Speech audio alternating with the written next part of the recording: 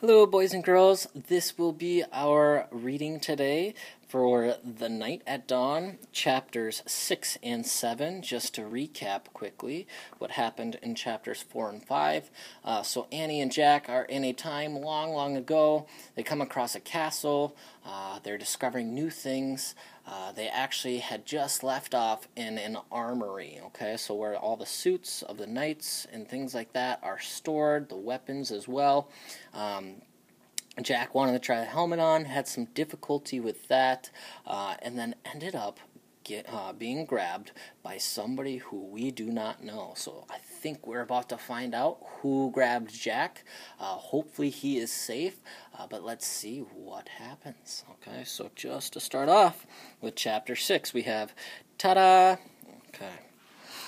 In the torchlight, Jack saw three huge men standing over him. One with very squinty eyes held the torch. One with a very red face held Jack, and one with a very long mustache held on to Annie. Annie was kicking and yelling. Stop! said the one with the very long mustache. Who art thou? said the one with the very red face. Spies? Foreigners? Egyptians? Romans? Persians? said the squinty eyed one. No, you dummies, said Annie. Oh, brother, Jack muttered. Arrest them, said Redface. The dungeon, said Squinty Eyes. The guards marched Jack and Annie out of the armory. Jack looked back frantically. Where was his backpack? Go, said a guard, giving him a push. Jack went. Down they marched, down the long dark hallway. Squinty, Annie, Mustache, Jack, and Red. Down a narrow, winding staircase, Jack heard Annie shouting at the guards. Dummies! Meanies! We didn't do anything! The guards laughed. That didn't take or er, they didn't take her seriously at all. At the bottom of the stairs was a big iron door with a bar across it. Squinty pushed the bar off the door. Then he shoved at the door. It creaked open. Jack and Annie were pushed into a cold, clammy room. The fiery torch lit the dungeon. There were chains hanging from the filthy walls. Water dripped from the ceiling, making puddles on the stone floor. It was the creepiest place Jack had ever seen. We'll keep them here till the feast is done. Then turn them over to the Duke, said Squinty. He knows how to take care of the er, thieves. There will be a hanging tomorrow, said Mustache. If the rats don't get them first, said Red. They all laughed. Jack saw that Annie had his backpack. She was quietly unzipping it. Come on, let's chain the two of them, said Squinty. The guards started toward them. Annie whipped her flashlight out of the pack. Ta da! she yelled. The guards froze. They stared at the shiny flashlight in her hand. Annie switched the light on. The guards gasped in fear. They jumped back against the wall. Squinty dropped the torch. It fell into a dirty puddle on the floor, sputtered, and went out. My magic wand, said or Annie said, waving the flashlight. Get down, or I'll wipe you out. Jack's mouth dropped open. Annie fiercely pointed her light at one, then the other. Each howled and covered his face. Down, all of you! Get down! shouted Annie. One by one, the guards lay down on the wet floor. Jack couldn't believe it. Come on, said Annie to him. Let's go. Jack looked at the open doorway. He looked at the guards, quaking on the ground. Hurry, said Annie. In one quick leap, Jack followed her out of the terrible dungeon. Chapter 7 A Secret Passage. Annie and Jack raced up the er raced back up the winding stairs and down the long hallway. They had gone far when they heard shouting behind them. Or they hadn't gone far when they heard shouting behind them. Dogs barked in the distance. They're coming, Annie cried. In here, said Jack.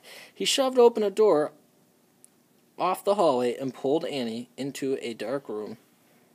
Jack pushed the door shut. Then Annie shined her flashlight around the room. There were rows of sacks and wooden barrels. It'd be better, er, I'd better look in the book, said Jack. Give it to me. Annie gave him the flashlight and his backpack. He pulled out the book and started tearing through it. Shh, said Annie. Someone's coming. Jack and Annie jumped behind the door as it creaked open. Jack held his breath. A light from a torch danced wildly over the sacks and barrels. The light disappeared. The door slammed shut. Oh, man, whispered Jack. We have to hurry. They might come back. His hands were trembling as he flipped through the pages of the castle book. Here's a map of the castle, he said. Look, this must be the room we're in. It's a storeroom. Jack studied the room in the book. These are sacks of flour and barrels of wine. Who cares? We have to go, said Annie, before they come back. No, look, said Jack. He pointed at the map. Here's a trap door, he read aloud. This door leads from the storeroom through a secret passage to a precipice over the moat. What's a precipice? said Annie. I don't know. We'll find out, said Jack. But first, we have to find the door. Jack looked at the picture carefully. Then he shined the flashlight around the room. The floor of the room was made up of stones. The trap door in the picture was five stones away from the door to the hall. Jack shined a light on the floor and counted the stones. One, two, three, four, five. He stamped on the fifth stone. It was loose. He put his flashlight on the floor. He worked his fingers under the thin sheet of stone and tried to lift it. Help, Jack said. Annie came over and helped him lift the stone square out of its place. Underneath was a small wooden door. Jack and Annie tugged on the rope handle of the door. The door fell open with a thunk. Jack picked up the flashlight and shined it on the hole. There's a little ladder, he said. Let's go. He clipped on the flashlight and fell or felt his way down the small ladder. Annie followed. When they both reached the bottom of the ladder, Jack shined a light around them. There was a tunnel. He crouched down and began moving through the damp, creepy tunnel. The flashlight barely lit the stone walls. He shook the light. Were the batteries running down? I think our light's dying, he said. Annie, er, said to Annie. Hurry, she called from behind. Jack went faster. His back hurt from crouching. The light got dimmer and dimmer.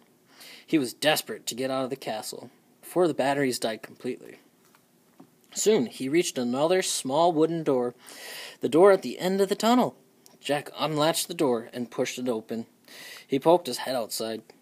He couldn't see anything in the misty darkness.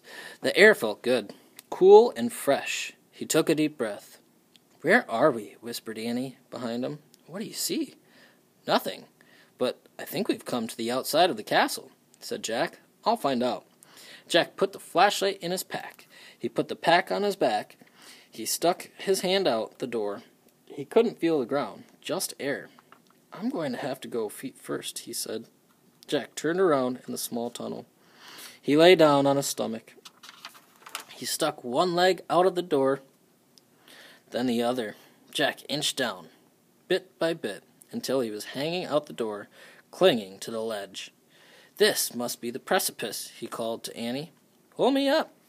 Annie reached for Jack's hands. I can't hold you, she said. Jack felt his fingers slipping. Then down he fell, down through the darkness. Splash!